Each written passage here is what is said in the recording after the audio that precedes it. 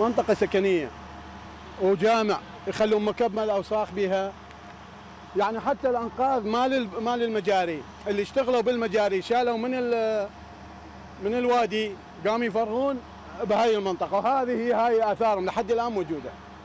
هاي المكب مالهم. زين أنت يا مقاول خل... شلت الأوساخ غير يشيلها من المكان اللي خليت بيها.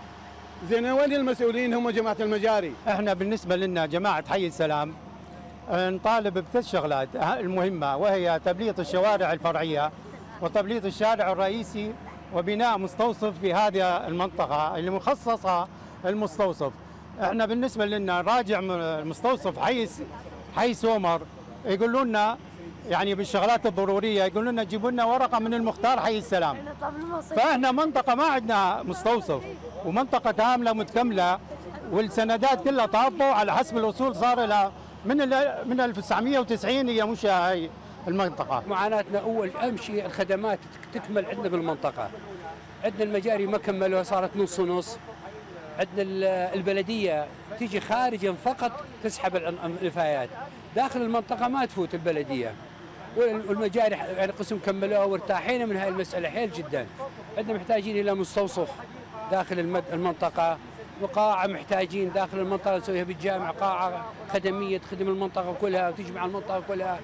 ثاني شو شغلة مهمة عندنا التجاوزات يمنا منطقة التجاوز يعني صارت واقع حال. ليش ما نسوي لهم شوارع؟ ليش ما نسحب لهم ماي؟ والله معاناتنا تشوفون إحنا بحاجة المستوصف يكون قريب من عندنا. بحاجة إلى تنظيف هذه الأرض أو استخدامها المشروع يخدم المنطقة مثلا. هذه أرض متروكة مقابيل جامعة السلام ما مستفادين منها فقط أبو المولدة وأبو المولدة مطوقتها الأوساخ؟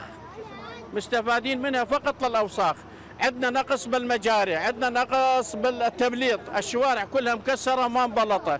يعني وقت المطر الرجل يمشي راجل على رجليه يحتار. شلون يعبر المكانات اللي بيها مقاضب المية أو المناطق ما يعرف أكو هذا منهول جوا أو أكو إيش قد عمق الحفرة اللي يقع بيها.